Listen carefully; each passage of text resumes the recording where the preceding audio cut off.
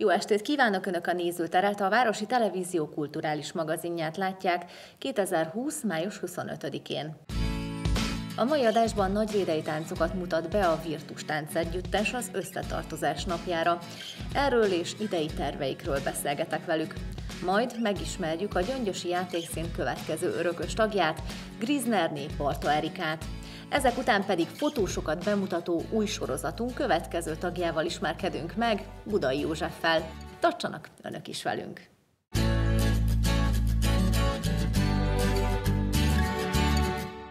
A koronavírus járvány közel két hónapos kényszerpihenőre küldte a Virtus Kamara tánc együttest is, akikkel most a körbe táncoljuk a Kárpát-medencét felhívásról és az idei terveikről beszélgetek.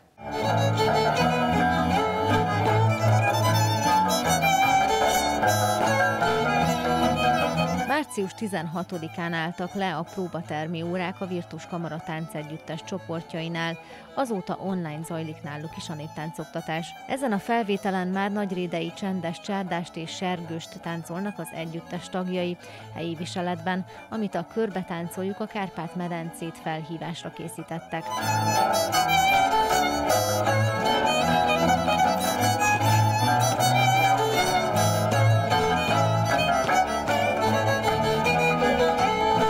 Vas megyéből indult ez a felhívás, a Gencsapáti Hagyományőrző Néptáncegyüttes és az ELTE Szökős Néptáncegyüttes Szombathelyről indította ezt a programot, ugye a nemzeti összetartozás jegyében, hiszen június 4-én lesz száz éve annak, hogy a magyar nemzetet szétszakították, és nem, nem emlékezhetünk meg erről élőben a közösségeinkben. Mivel ugye nem lehet rendezvényeket Igen. tartani és ezért indítottak el egy körbetáncoljuk a Kárpát-medencét sorozatot, és ennek az a lényege, hogy minden tájegységről lehet bárkinek az egész Kárpát-medencéről jelentkezni. Egy két perces videót kell feltölteni a közösségi oldalra, ugye megjelölni ezt a, a programot rajta, a programnak a nevét, és június 4-én egy meglepetés 10-12 perces videóval fogják ezt összegezve bemutatni, hogy hányan csatlakoztak, amiben még nem tudjuk, hogy majd beválogatnak-e minket, de reméljük, hogy Bízom hamarosan, benne, hamarosan kiderül, és tehát ezzel azt, azt mutat látva, hogy a Kárpát-medencében ugye a hagyományok, hogy összetartják az embereket. Meg, hogy milyen színes ugye a kultúránk, a tánckultúránk, a zenekultúránk, hagyományaink, viselet, szóval ebbe így komplexen minden benne van, és véleményem szerint egy nagyon-nagyon jó kezdeményezés, és hát nagyon örülünk egyébként, hogy Heves megyéből is tudtunk csatlakozni, tehát azt hiszem tudomásom szerint mi csatlakoztunk eddig, ugye Nagyrédéről, és olyan nagyrédei táncokat tudjuk népszerűsíteni és bemutatni a nagy érdemű közönség, és nagyon-nagyon tetszik az embereknek. Tehát legalábbis a visszajelzések alapján. Ez lett volna a következő kérdés, hogy mi volt a nagy, milyen nagyrédei táncot adtatok elő, és milyen viselet volt rajtatok. Hát a viseletről majd Zsófi, de én elmondom gyorsan, hogy nagyrédei csendes, csárdás és sárgőst táncoltunk. Ez egy nagyon érdekes táncforma, egy ilyen régi típusú, de mégis ugye új elemek is felfedezhetők benne, a verbunkos mozdulatok, a csapások, és hát nagyon-nagyon örülünk annak, hogy amiket ugye tehát évek során, tehát már körülbelül 5-6 éve dolgozunk azon, hogy összeszedjük ezeket a archív felvételeket, anyagokat ugye Nagyrédéről, tehát hogy Nagyrédé nem csak a gyertyás tánc létezik, hanem sok minden más, színes hagyomány és tánc kultúra is főképpen, tehát hogy ezeket a nagy érdemű közönségnek meg tudjuk mutatni, és most már úgy gondoljuk, hogy a tánc szakma is igencsak elkezdi elfogadni ezt. Ez egy rég elfeledett táncanyag volt, és hát most mégis lássunk csodát, tehát itt van a nagyrédei táncanyag, egy nagyon-nagyon jó, virtuóz, kemény, feszes, csárdás tempóra, vagy esetleg ugye a sergős, azért sergős, mert egy egymás mellett van a, a férfinek, a nő, férfinek és a nőnek a lába, és akkor pumpálnak így lefelé, és akkor egyszer csak így elindítják, mint egy ilyen sergő a vidám parkba, és akkor egyre gyorsabban forognak, az váltja egy bukós lépés. Szóval szép. Nagyon, én legalábbis nagyon-nagyon szeretem, és az ifjúsági együttesünkből egy párt kértünk föl, természetesen szülőkkel megbeszélve előre, hogy hozzájárulnak-e ahhoz, hogy a gyerekek ugye közreműködjenek a videóba, és fönt a nagyridei történelmi pince soron választottunk egy nagyon szép helyszínt, az a a Bordom nagyrendének, ugye? A, a, a pincéje előtt készült a felvétel, nagyon szép rendezett kis pince, és akkor ott készítettük, de úgy, hogy felállítottunk egy állványos kamerát, és akkor elindult a felvétel, és hát amelyik a legjobb volt, azt választottuk. A viseletről pedig hát Zsófi tud Igen, mert azért fontos a helyszín is, mert benne volt a felhívásban, Igen. hogy egy, egy helyi emblematikus helyszínt válaszunk, amivel mi pont azért választottuk a, a pincesort, mert egyrészt ugye benne van a nagyrédei értéktárban, másrészt pedig, hiszen a Mátra aljáról, ugye a híres a, a borokról, a Mátrai borvidék, és ezzel is egy kicsit ezelőtt szerettünk volna így tisztelegni, vagy megmutatni, hogy, hogy, hogy a Mátra vidéknek ugye, a borai mellett a tánca is, tánca is, is mennyire mennyire szépek. Viselet szempontjából a nagyrédei viselet, a két világháború közötti viseletet jelenítettük meg. Egy legény, illetve egy, egy házas ember volt, ugye Milán volt a, aki... Nem fordítva? Nem. aki a házas embert mutatta be, illetve egy legény legény szerepelt még a felvételen, és a, a, a lányok szempontjából pedig megjelent egy menyecske, amihez elkészítettem a nagyrédei csipkés féketőt. Egy délelőtt alatt. Egy, egy délelőtt alatt hirtelen felindulásból, mert szerettük volna azt, hogy, hogy többféle viselet vagy, vagy forma jelenjen meg a felvételen, hogy minél szélesebb körben be tudjuk mutatni. De ezt ne felejtsük el, hogy archívfotók igen, igen. Hát eredetileg is így nézett. Eredetileg is így nézett Tehát nagyon ki, fontos az, hogy autentikus és legyen. Igen, igen, ezt egy, egy olyan régi főkötőről szedtem le, amit igazából már nem használunk, de ezt ilyen sodronyozott fém, nem is lehet kapni. fém díszt nem is lehet már kapni, úgyhogy örültem neki, hogy ezt így fel tudtam használni, újra tudtam hasznosítani, úgyhogy ezzel is egy kicsit bővebb körben tudtuk megmutatni a nagyrédei viseletek sokszínűségét. Legalábbis két fajtát be hát tudtunk igen. mutatni a kedves érdeklőt. Egyébként kartonpapír a belseje, amúgy miből csinálták régen a merevített részét? Hát valószínűleg akkor is kemény papírból, vagy olyan ilyen keményebb anyagból készítették el, hiszen ez tartós, illetve ugye a fej formáját könnyen fel tudja venni, de régen is ugye ezt a fajta díszítést használták, szalagot, te körbe arany flitteres díszítés, úgyhogy próbáltam a legautentikusabb formában megcsinálni. És hát ezt egy kontyra teszik rá. Igen, ugye? hát nem a kontyra, hanem, hanem ide hátul a hajukra. A menyecskék hordták ezt régen két-három évig, tehát az új asszonyok, új asszonyok két-három évig hordták, és utána, utána már ezt felváltotta a hátrakötő piros színű kendő úgyhogy ezt csak a fiatal asszonyok hordhatták. A táncegyüttesnek több terve is van, jó hír, hogy a nyáron napközi jelleggel megtarthatják a nyári táborukat, és mivel idén ünneplik tíz éves évfordulójukat, ezért különleges programok is várhatóak az év második felében. Az Aurora Folk glamourral szeretnénk közösen egy tehát több ízben felvonultatni, tehát a régi viselet és a ma visel dolgok kompozíciója, tehát egy picit egy ilyen kevert dologról van szó, ezt a hajni, német hajni csinálja, tehát Zsófinak készített egy lázsiást. Lázsiás egy egy régi, régen a népviselethez hordott ékszer, Hát általában a Kalocsán, Kalocsán és a Szexárt környéki falvakban hordták ezt az ékszer darabot, amiről azt kell tudni, hogy ilyen hatalmas érmék díszítik, több, több érme egymás mellett, így végig oda fekszik a, a hölgyek melkasára, és ezt a, újra gondolja a, a hajni, és ő készített már nekem egy ékszerszettet, amit, amit egy... Tehát egy máriás igen, mert ugye a védőszentet Szent Anna. Szent Anna, és akkor így a van, Szent, Anna, akkor... Szent Anna medált foglalt körbe. Így van, és gyönyörű szép A Rimóci, Rimóci asszonyavató kendőmnek a díszítésével. Így van, így van. És akkor ezen felül ugye a ruhatervezéssel is foglalkozik, tehát főként ugye a népviseleti elemek mutatkoznak meg benne, és azt gondoltuk, hogy ez egy szép tehát, hogy mondjam, tehát ebbe az évben ugye több előadásra is készültünk, mint jubileumi előadás sorozat, hiszen tíz éves a Virtus Kamara táncegyüttes, de ugye hát a járványhelyzet miatt nem lehetett.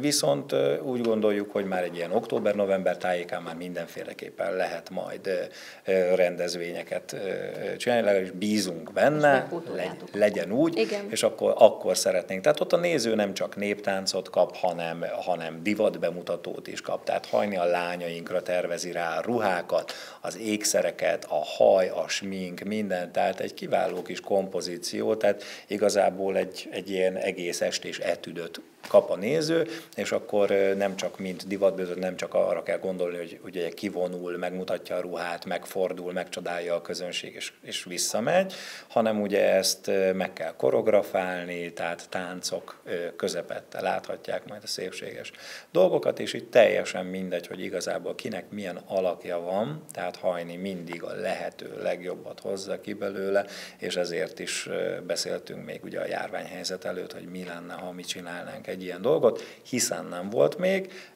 Heves megyében meg pláne nem volt, és Gyöngyösen én úgy gondolom, hogy eléggé virágzik, remélem nem köveznek meg érte a lokálpatriót, tehát a lokálpatrióták sokan vannak, és én úgy gondolom, hogy tegyünk nekik eleget, hát ha megtelik a, a művelődési ház. A bemutatón élőzenei kíséret lesz majd, amit a Dobroda zenekar biztosít, decemberben pedig egy újabb mesedarabban lepi meg közönségét a Virtus Kamaratánc Együttes.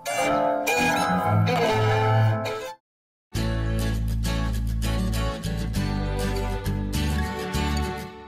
Sorozatunkban a már 65. születésnapját ünneplő Gyöngyösi Játékszín nagyjait, örökös tagjait ismerhetjük meg.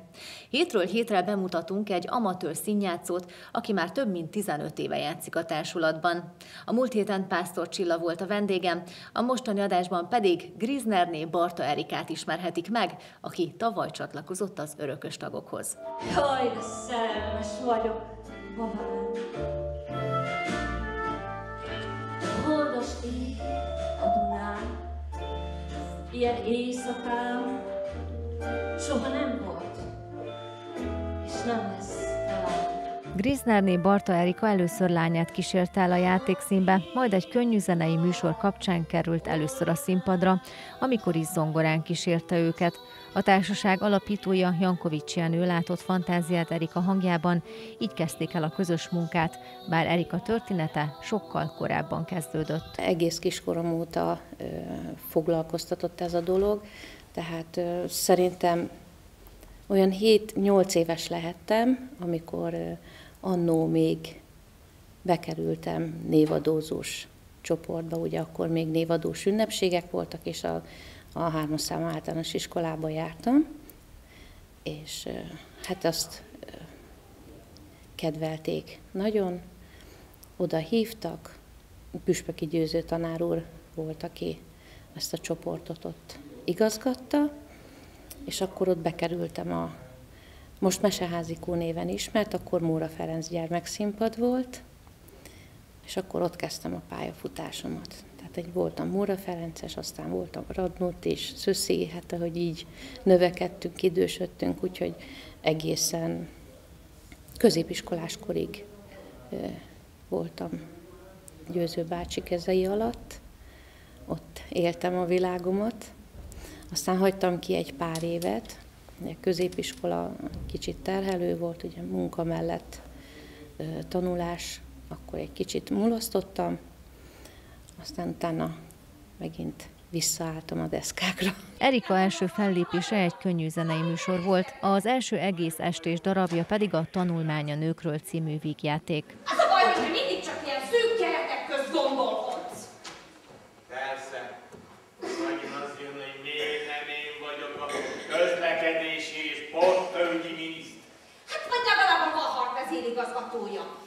Nem érdemes ezt újra kezdeni, Jóra. Bálint, tegnap elhatároztam valamit. No, hogy délbe elmondod, hogy... Én most akarom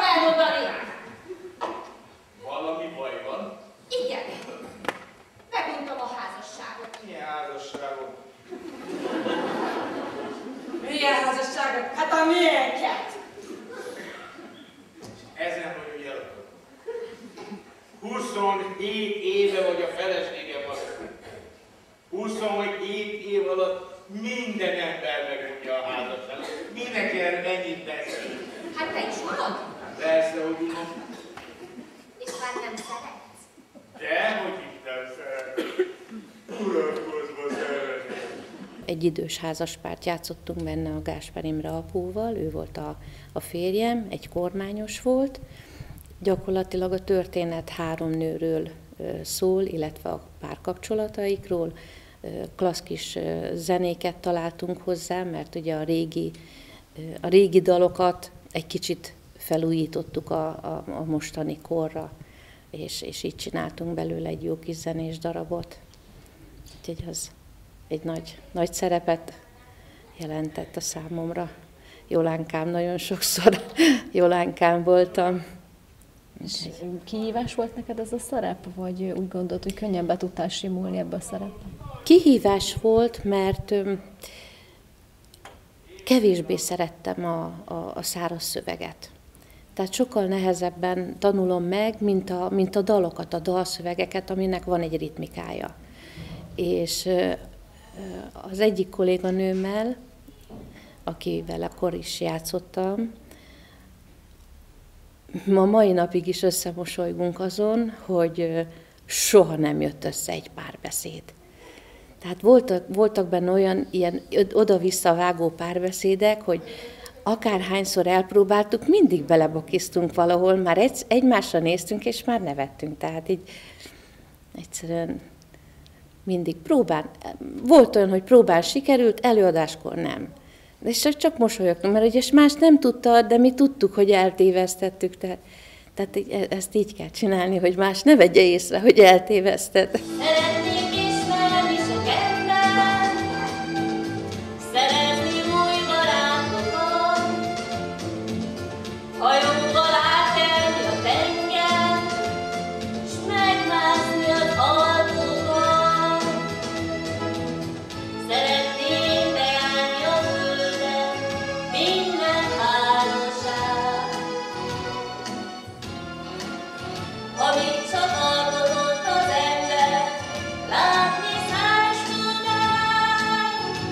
Az az igazság, hogy minden darab más. Minden darab más, minden darab másként hat rám. A következő darab, amiben játszottam, szintén az egy végig egy zenés, a dzsungel könyve volt, amiben igaz, hogy csak egy asszony voltam, de, de mégis kihívás volt, hogy, hogy koreográfiát tanuljunk, odafigyelni a többiekre, mert azért ott lé- lényegesen többen voltunk, tehát nem egy ilyen 6-8 szereplős, hanem az egy nagy stábos kis előadás sorozat volt, amit, amit szintén imádtunk, hát bármikor szívesen újra játszaná az ember. Mi a kedvenced? Azt mondtad, hogy szereted, ahogyha ritmikája van a, a szövegnek, akkor ezek szerint a zenés darabokat szereted jobban. Igen, igen. A zenés darabokat, a, a, zenei, zenei dolgokat, azt jobban.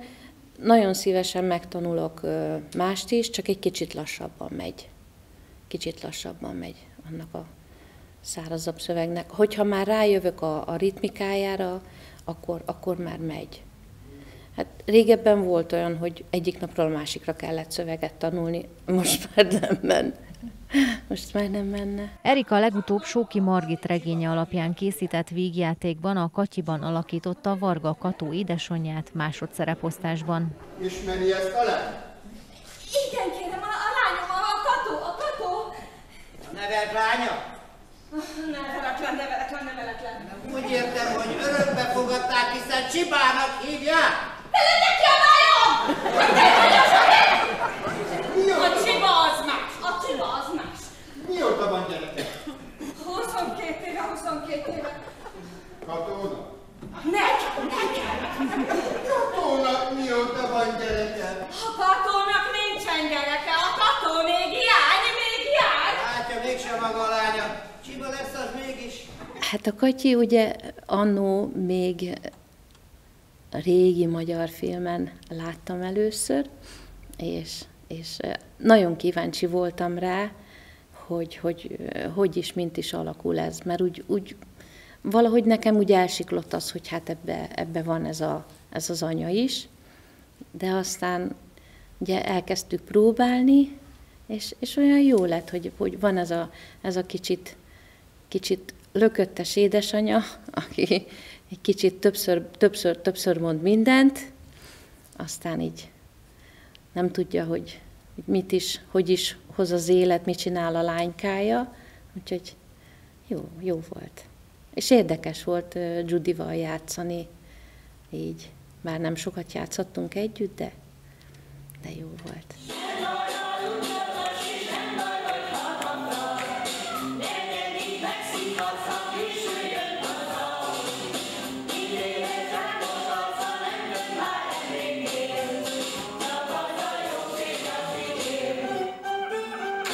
Nagyon kevesen mondhatják el szerintem, hogy 65 éve, mint amatőr színtársulat működnek országszinten. És ugye azért, hogy most már Csilla a harmadik éveként van Nettingenben, nagyon furcsa volt kezdet-kezdetén, hogy igen, most bekapcsoljuk az internetet, és akkor nézzük, hogy most akkor ő mit mond, hogy mond, megoldani azt, hogy meglegyen a szövegkönyv, megoldani azt, hogy meglegyenek a zenei alapok, ha valami nem jó, akkor, akkor ezt csináljuk így, csináljuk úgy, úgyhogy óriási munkája van neki benne, óriási munkája van neki benne, de szerintem egyre gördülékenyebb. Tehát az első év az biztos, hogy nagyon nehéz volt, de, de egyre gördülékenyebb most már az egész.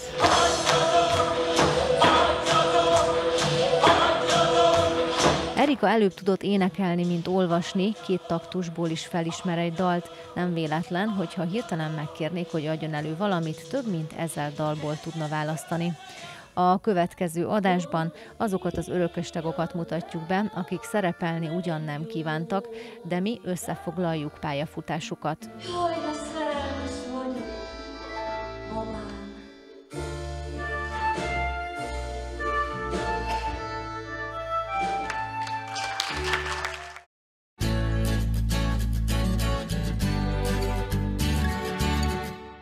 Egy újabb sorozatot indítottam el, amiben azokat a vizuális történetmesélőket mutatom be, akiknek a fotóposztjaival nap mint nap szembe találkozunk a közösségi oldalakon, akik közvetlen környezetünket örökítik meg a saját szemüvegükön keresztül, úgyhogy akár képesek mindenki előtt felkelni és órákat várni a megfelelő pillanatra.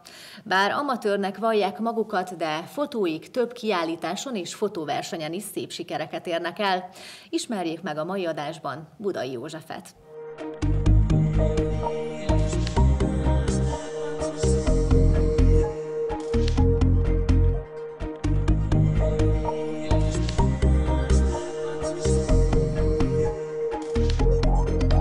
nagyon visszakanyarodok az időbe, akkor általános iskolában nagyon-nagyon szerettem rajzolni. Nyilván ott, ott is ugye beállított statikus dolgokat iskolába letettünk almát, ceruzát egymás elé, és ugyanezt térben ábrázolni. És ugyanezt úgy értve, hogy ugye árnyékokkal elhelyezni úgy a térben, hogy nem egy sík, sík ceruzarajz, mint egy gyerekrajz, és akkor ugyanezt fotózásba is mindig, mindig ez motivált, és ez a tükörreflexes technológia után jött ez be, hogy ugye tudunk tárgyaknak ö, mélységet ö, adni, tudjuk egyiket a másik elé mögé helyezni, és akkor, akkor kapott el úgymond a gépszíj, amikor ezt már úgy meg is tudtam valósítani, hogy nem csak egy olyan fotót készíteni, amivel minden, minden egységben van, minden éles, minden látszódik, hanem kiemelni ö, tárgyakat, ö, embereknél nyilván portréba ö, szem, az, ami nagyon ö, tükrözi az ember lelkét, az, az, az ott ugye a legélesebb, amit egy fotós ö, szokott megjeleníteni, meg a tárgyakban is, ugyan természetben is. Természetben is én gyakran alkalmazom ezt a ö, szűk szűk blendét, hogy nem, nem, nem, ö, nem, ö, szű, ne- nem tágan bemutatni egy tájképet, hanem ott is kiemelni akár egy, most akár egy fát, vagy, vagy ugye ö, akár tavasz a virágzás, bármi ilyesmi, csak bizonyos pontokat a, a, a, a, a nagyból, Mm, a nagy egészből.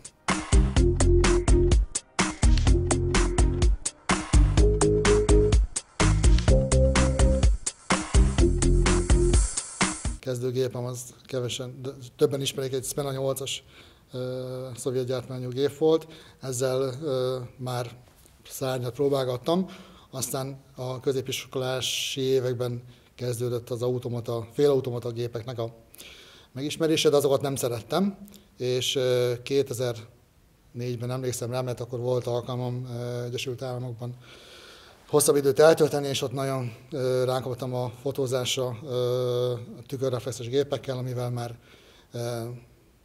mint alkotó is tudtam hozzátenni a kép képi világhoz, nem csak, nem csak statikusan mutatni egy egydimenziós felületet, hanem ugye mélységet adni, a, kiemelni tárgyakat, dolgokat, és az akkor igazából akkor kezdődött nálam a, a, a nagyon nagy szeretet a fotózással kapcsolatban.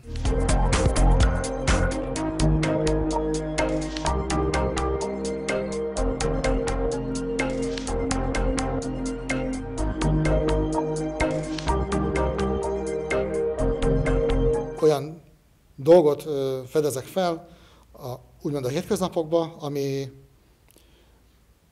ami, ami érdemes arra, hogy, hogy egy kép készüljön belőle, és esetlegesen nem csak nekem jelent valamit, hanem esetleg másnak is lenne hozzáadott értéke, hogyha az elkészülne. Csak azért, hogy a, a FileMap mélyére még egy pluszkép legyen, azért nem, csak hogyha ezzel sikerül az is jó, hogy saját magamnak boldogságot tudok vele előhozni, de hogyha esetleg még másnak is tetszik, és mint most történt a városunkban, ugye ez a kórház javára, Bogátpár kórház javára levő áver, és esetleg még jót is tud vele tenni az ember, akkor az mindenképp felemelő.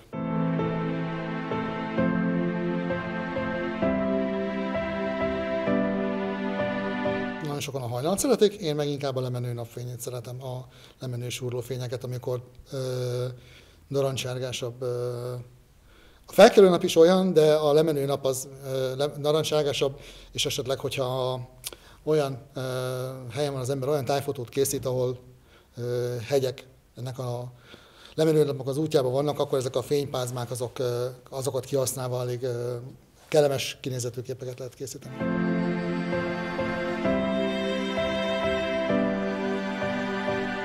az embereknek a fotózás az ö, olyan szempontból, én, én úgy szeretem, hogy nem tud róla a másik fél. Mert az, az az ipari fotózás, amikor valakiről arcképet kell készíteni, tablófotó vagy bármi egyéb, arról, hogyha ember készül, arra, készül arra, hogy képet készítenek róla, akkor mi még áll. Ezt, ezt nem tudjuk elkerülni, ilyenek vagyunk, mint emberek. De hogyha van rá mód, hogy nagy tömegben jobban elveszve keresünk alanyokat, és esetleg városi rendezvényeken, ahol nem csak két-három ember van, és nem, látszó, nem látszik ez, hogy kép fog róla készülni, viszont ott, ott igen, mert, mert, mert mondom, az a tapasztalatom, hogy a, az emberi mm, mindenki a kamerával szemben egy kicsit ugye furcsán áll hozzá, mert Szégyellős egy kicsit. Szégyellős egy kicsit, igen, igen. És hogyha erről nem tud, akkor teljesen más a, a, az embernek az arcszerkezete, más a mimikája, az, azokat, azokat szeretem, ezeket a, megrendezett, beállított tabló jellegű képeket, azokat nem.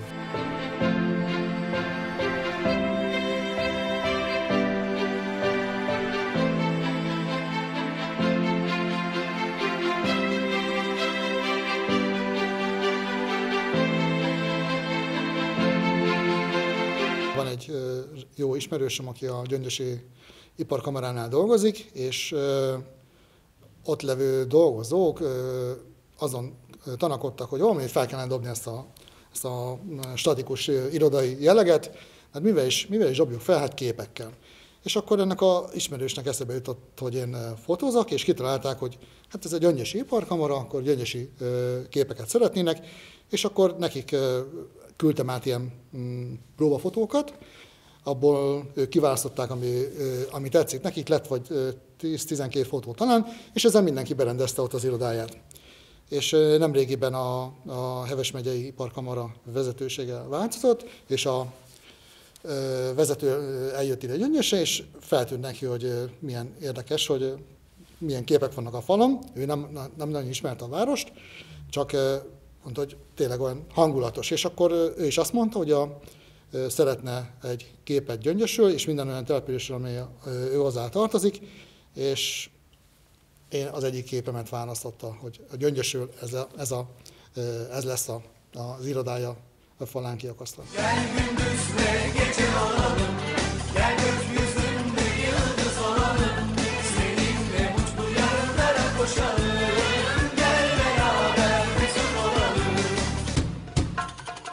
Azok közé tartozom, igen, aki nagyon szeret utazni, csak az utazás és a fotózás az, az nehéz összehangolni, mert hát ha rendes fotókat szeretnénk készíteni, akkor az megfelelő felszerelés is kell, és nagyon elengedhetetlen, elengedhetetlen, hogyha ember csak egy hátizsákkal megy, akkor minden kezé, kezéügyében legyen, de erre is mindig azért megpróbálok alkalmat keríteni, és hogyha olyan helyen járunk, ami vannak, vannak olyan utazások, amik kimondottan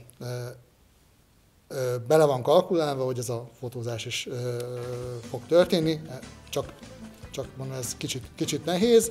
Mostanában egyre kevesebb idő van ebből az, erre, de még azért mindig megpróbálom. Egy jó fotó az, szerintem, amiért egy pillanatra megáll az ember. Szóval nem, amikor a kiállításon folyik a kiállítás, megy az ember, és akkor hopp, itt ez most valamiért, valamiért, valamiért megállok előtte, mert, mert, mert nem elég csak úgy, hogy tovább megyek, mint a mozgólépcső, mert fotó, fotó, fotó, hanem ami, ami, ami, ami miatt ugye valami ott ragad az ember, mert, mert nyújt neki a, a, az egyszerű színe befogadásán kívül ami többet esetleg a lelki ö, ö, mi voltába hatol.